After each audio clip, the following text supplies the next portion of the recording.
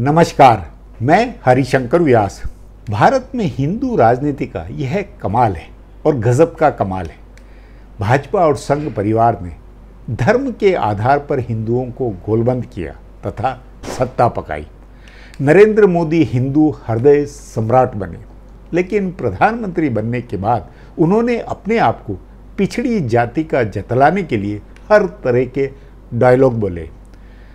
तो हिंदुओं में आरक्षण की भूख तथा जातीय दुराव भी बनने दिया और बनाया। अपने कैबिनेट के जातीय चरित्र व हिस्सेदारी में जातियों का हिसाब का ढिंडोरा पीटा, जातीय पहचान को हवा दी। हिंदुओं में यह होड़ बनवा दी कि वे समाज में अपनी जाति के आरक्षण के लिए नीचे पायदान पर गिरते जाए। पूरा हिंदू समाज मानो दलित और आदिवासी जैसा बनने की होड़ में। समाज और जातियों का ये बहुत ही अजीब व्यवहार है। इसलिए आज के मेरे विचार का यह शीर्षक है, भारत में क्यों सब पिछड़ा दलित तथा आदिवासी बनना चाहते हैं? वैसे जातीय मोबिलिटी को लेकर भारत में बहुत कुछ लिखा गया है। समाजशास्त्री एम एन श्रीनिवास से लेकर समाजवादी चिंतक सच्चिदानंद सिन्हा तक ने इस पर बहुत विस्तार से लिखा है। ये दोनों मानते रहे हैं कि प्राचीन भारत से लेकर अभी तक जातियों में बड़ी गतिशीलता रही है। मतलब आज कोई व्यक्ति जिस जाति में है तो ज़रूरी नहीं है कि बरसों पहले उसके पूर्वज उसी जाति में रहे हों। दुनिया के किसी भी दूसरे देश के मुकाबले भारत में जाति की गतिशीलता ज़्यादा रही है। समाज की जातीय रचना बदलती गई है। हिंदू समाज में जाति की रूढ़ तथा बंद प्रकृति के बावजूद भारत में और उसके समाज में परिवर्तन लगातार बहुत हुए हैं। एम एन श्रीनिवास ने इसे सामाजिक और सांस्कृतिक परिवर्तन की एक प्रक्रिया के तौर पर रेखांकित किया था। उन्होंने जो आज़ादी के पाँच साल बाद ही यह सिद्धांत दिया था कि संस्कृतिकरण और पश्चिमीकरण की वजह से नीची जाति का कोई व्यक्ति सिर्फ़ दो या तीन पीढ़ी में सामाजिक पदनुक्रम में ऊपर की पोजीशन में पहुँच सकता है। मतलब उन्होंने समाज में नीचे से ऊपर उठने का सहज विकास संभव बताया था। ऐसा नहीं है कि जाति की गतिशीलता सिर्फ़ सामाजिक तथा सांस्कृतिक प्रक्रिया का नतीजा थी। प्राचीन और मध्यकाल में हुए अनगिनत युद्धों में जय और पराजय ने भी इस प्रक्रिया को आगे बढ़ाया था। लड़ाई जीतने वाले विजेता सामाजिक स्टेटस में, पदोन्नत क्रम में ऊपर बढ़ते गए। एक समय ऐसा भी था जब सामाजिक सीढ़ियों में, यानी सोशल हायरकी में ऊपर जाने की होड़ थी। लेकिन अब सामाजिक व्यवस्था में नीचे की ओर जाने की होड़ लगी है। पदोन्क्रम नीचे का हासिल करने की होड़ है। जातियाँ इस बात के लिए लड़ रही है कि उनको दलित या आदिवासी बनाया जाए। ऐसा लग रहा है कि सामाजिक और सांस्कृतिक प्रक्रिया का चक्र उल्टा घूमने लगा है। जिस व्यवस्था में सबको ऊपर की ओर बढ़ना था, वहाँ सब सामूहिक रूप से नीचे की ओर जाने की होड़ में है। क्या ऐसा हो सकता है कि सामाजिक व्यवस्था में नीचे के पायदान पर पहुंचकर ऊँचा हो जाया जाए? हो सकते हैं क्या ऊँचे? पिछड़े क्या अगड़े अपने आप बन जाएँगे? सवाल है, ऐसी सोच सामाजिक व्यवस्था में बदलाव का प्रतीक है या फिर राजनीतिक बदलाव या राजनीति के कारण है? पिछले कुछ समय से देश में जाति आधारित राजनीति लगातार बढ़ी है। आबादी के अनुपात में पिछड़ी जातियों का प्रतिनिधित्व भी धीरे धीरे बढ़ा है। एक तरफ़ राजनीति में पिछड़ी जातियों का वर्चस्व बना है तो दूसरी तरफ़ देश की बड़ी आबादी सामाजिक व आर्थिक स्तर पर एक बराबर के स्तर पर पहुँची है। जैसे जैसे देश में आर्थिक असमानता बढ़ी है, वैसे ही सामाजिक समानता बढ़ती गई है। सामाजिक स्वीकार्यता का एकमात्र पैमाना अब पैसा बन गया है। पुरानी धार्मिक व सांस्कृतिक परंपराएँ कमज़ोर पड़ गई है।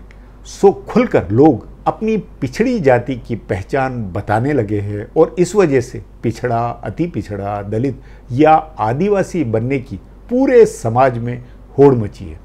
ध्यान रहे, भारत में आरक्षण की व्यवस्था सामाजिक व शैक्षणिक पिछड़ेपन के आधार पर की गई और इसलिए जब गरीब स्वर्णों को, फॉरवर्ड को आर्थिक आधार पर आरक्षण दिया गया तो एक बड़े तबके ने इसे संविधान के विरुद्ध बताते हुए इस पर सवाल उठाए थे।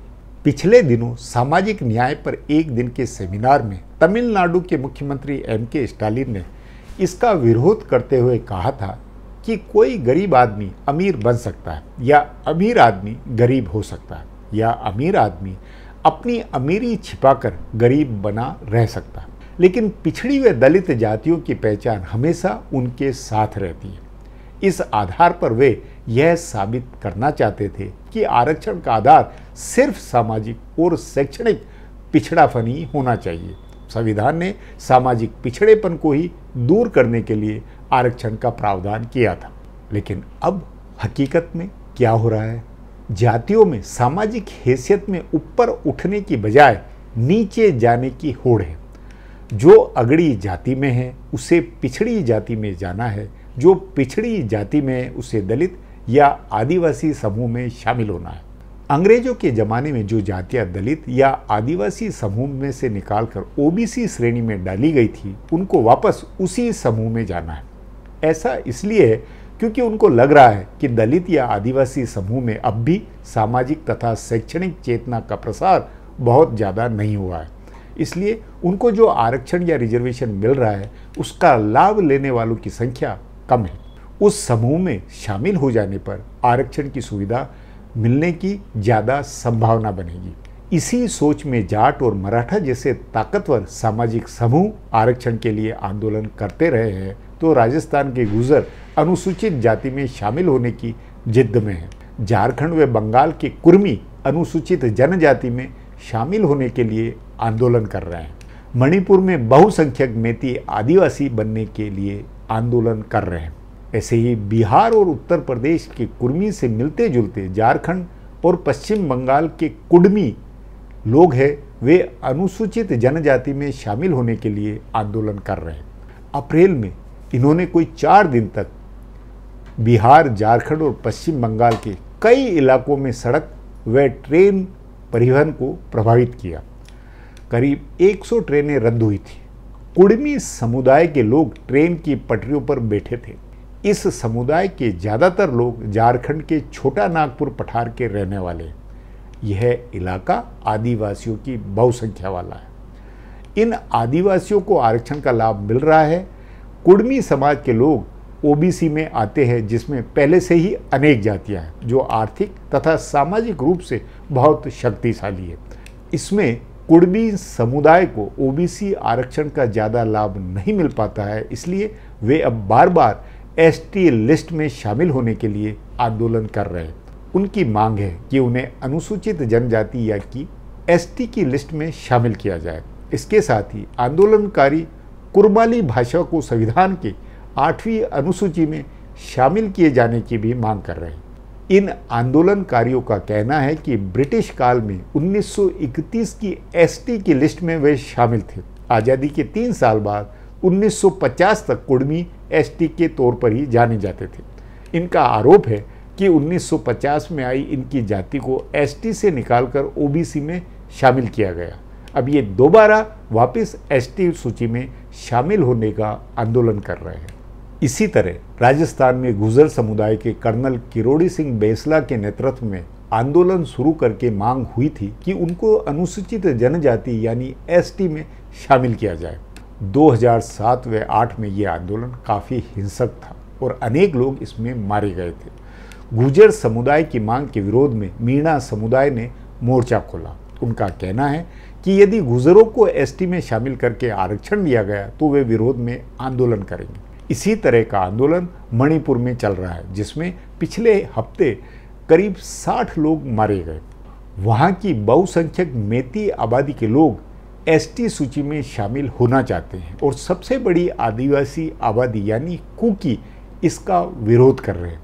इस तरह की भूख का राजनीति के पास कोई समाधान नहीं है, बल्कि उल्टे वोट की राजनीति ने समाज की हर जाति में यह भूख बना डाली है कि जैसे भी हो, उनकी जातीय हैसियत और नीचे हो, वह घटे और उन्हें आरक्षण मिले। बहरहाल, यह एपिसोड अब यहीं समाप्त। बहुत बहुत धन्यवाद।